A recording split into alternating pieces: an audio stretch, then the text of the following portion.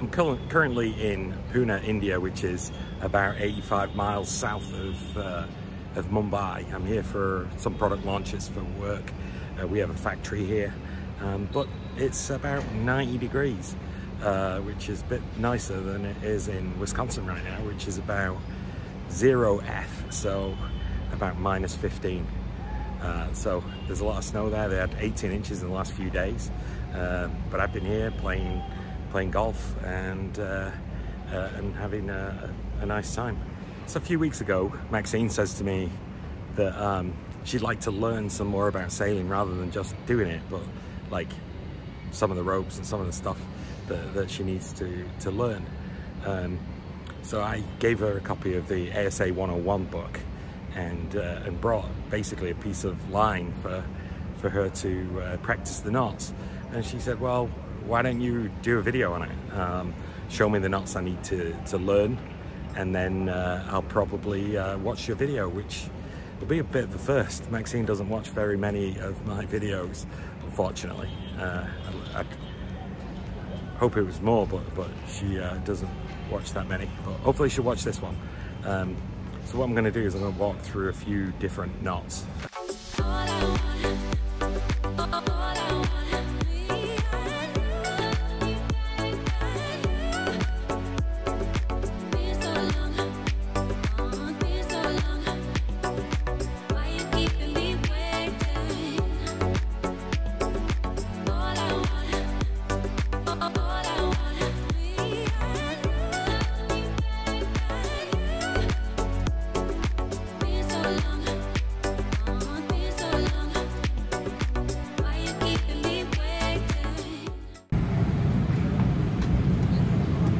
Just leaving Warsaw on the way to um, Mumbai. So I'm here in Mumbai and this is the JW Marriott. And uh, yeah, I'm just gonna give you a quick show, show you around a little bit. Try and open some of this and see what happens. Here we go. Now it's supposed to be open to the pool, this room. And it is, so there's the pool down there. Unfortunately, I didn't get a chance to uh, use it this morning. Uh, but yeah, it's quite nice. I'm gonna go for a walk outside, so maybe I'll take some more footage as I walk around.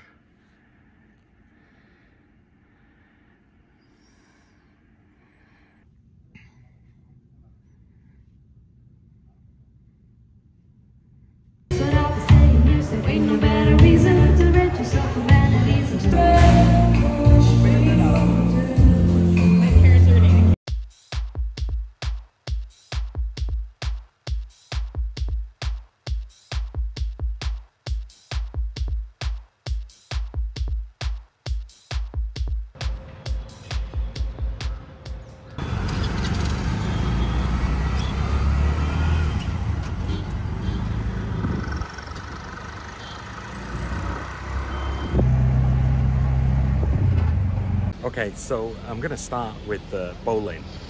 And um, there's a railing to, to the left over here. Uh, you, can, you can see it over there. And basically what I'm gonna do is I'm gonna use that to tie a bowline around. The bowline is a great knot for things like the jib sheets. So you tie your jib sheets to your sail using this knot. So you would thread the line through the hole in the, in the jib, like so. Uh, and then what you would do is you would make a turn like that so you can see that the line going back to the uh, cockpit would be on the top. And then you go through here around and back up. And it's as simple as that. That's a bowline we're going to do that again. So going to start off here. To get the rope in my hand going to put the bitter end, so at the end that's basically the end of the rope, you put that through the, the sail and then you make a loop, so you take the loop on top of the other piece like so. And then there are a variety of different sayings and stuff that you can use to learn this. Uh, but people say things like down the rabbit hole around the tree and back up the rabbit hole. But the important thing is that these two ropes uh, stay together and they basically go like this. That is a bowline. Now I used to, before I sailed, before I, I, really did much in the way of sailing, I used to sail when I was a teenager a little bit, uh, but basically in my late teens and early 20s and all through my 20s before I moved to the US, I was a keen rock climber and this is the knot I would use to tie, tie in. There's a few variations or there's a few things that you can do to improve on this knot. So one of the things you can do is, for instance, if you um, the, the knot does have a tendency, if it's not loaded all the time, to come, it can come undone. In the rock climbing world, we would basically just either throw in an overhand knot on here, like so. So you basically just take the bitter end and tie it to the other one so it can't pull through. Or the other thing you can do is give yourself a bit more line. So let's retie this again longer this time. So start here, go around here, through here, and then give myself a, a lot longer end, like so. And you can do a fisherman's hitch. So you basically, a fisherman's hitch, what you do is you go around here once, and you go around here twice, back on itself, behind itself, and then through. And it's as simple as that. And that stopper knot will never will never come undone. And uh, it's a great way to secure the stopper knot.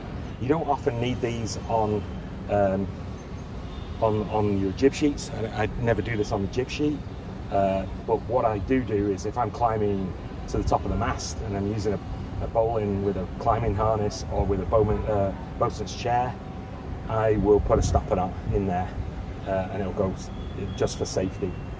So one more time, we're going to tie this one more time. So again, through the, the sheet, uh, through the sail, and then create a, a loop over the top like that, down the hole, around the back, and back up the hole. Uh, now, I heard someone say, I heard someone say down the hatch, up around the uh, around the mast, and back up the hatch to make it more nautical. Uh, but but that's about it. So the next knot I'm going to do is a pretty easy one. Um, the next knot I'm going to do is a figure of eight. So figure of eight, you take the line, you go around the back, come around again, and then you go through. And that's as simple as that. It's very straightforward.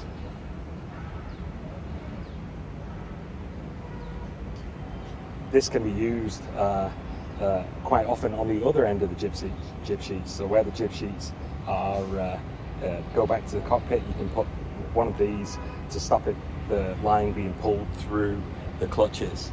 Now, I heard a bit of a tip the other day where somebody said, make sure you put an end on it because if it does get caught in the, in the, uh, the clutch, is going to go really tiny, really tight, and you're not going to be able to grab hold of it if it's really just just here you need to have uh, uh, something to grab hold of, something that you can really pull it, pull it back out with. One thing you will find about the figure of eight is that it actually quite often loosens up and, ends up being like this. I don't like it for, for this application. For these applications where uh, you're using it as a stopper, I would revert back to what I had before, which was the, the uh, a, a double fisherman's, where I would basically go like like this. And, and then here you've got a double fisherman's. Uh, so I'll go through that again.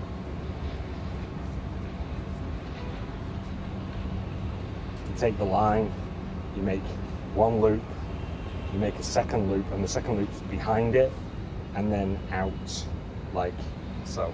And that is a fisherman's hitch. So the next knot I'm going to look at is a square knot or a reef knot. So the point of a square knot or a reef knot is to draw, join two pieces of line together. So you take the two pieces of line, you take the ends of the two pieces of line. In my case, I've only got one, so I'm just going to make a loop. Uh, and then you make a loop like you make a crossover like this, and then you take the lines and you cross it back over, and you make sure that it's basically a mirror image of the first loop. So when you look at it, they they're like this. They go side by side and they just loop on each other. If you do it wrong, you end up with a, a knot that's not very useful. We used to call them granny knots, right? Where basically, if you did it the other way, I don't even know whether I can do it because I'm a bit on autopilot. Yeah, like that. It, it's not great. So be careful and always see this line going underneath. So that line goes underneath and then this one goes through and you have a, uh, a reef knot or a square knot. So I said earlier that uh, I used to rock climb very frequently, and one of the rock, uh, one of the knots that we used to use all the time in in uh, rock climbing is the uh, clove hitch. Now, um, the way I was taught to to uh, to do a clove hitch is very it seems very different than, than the way it's been taught, uh, and the probable reason for that is when you're when you're rock climbing, most of the time you use a clove hitch, you, you basically throw it over the top of some sort of bollard, like uh, uh, you know, a piece of metal sticking out of the ground that, that is used for an anchor for rock climbing or a snow stake, or you do it into a carabiner.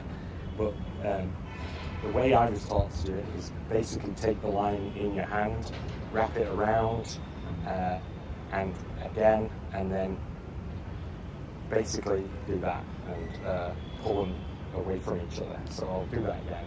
Go around your hand twice. So you've got that. So you've got two on the back and three on three on the front, and then you basically fold fold one of them, fold that one around to that one there like that.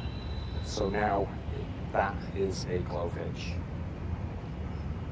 Problem is, this is great for throwing over things like that where it'll just throw over there and, and hold.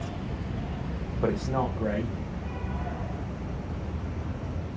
But it's not great for, for connecting to a lifeline, which is often where we use them because these knots are used for mostly for our um, uh, putting fenders on the side of the, the boat.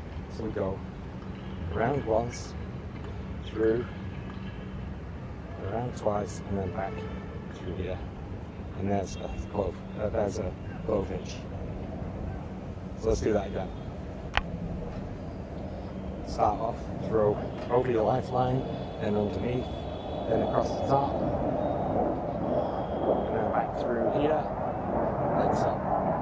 Now you have to excuse the two F-16s flying over right now uh, from the Indian Air Force. We a base locally. Uh, that's your that's your clove hitch, load it here.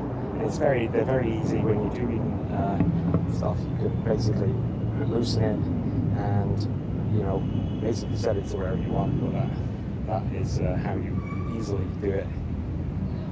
Now, if you're really worried about it coming undone because of like you know maybe it's floating on the wall, maybe it's hitting up the wall, you can always throw in a half hitch in here like so. The next one I'm going to do is the, uh, round turn and two half hitches.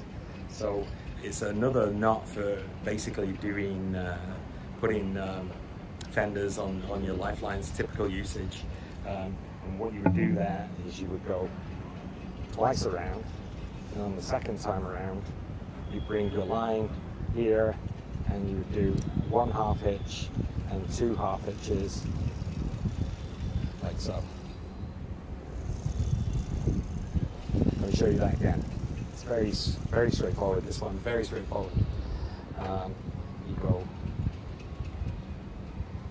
once around, twice around, and then when you've gone around twice, you go through, around the back, and then uh, back on itself to do a half hitch, and then a second half hitch.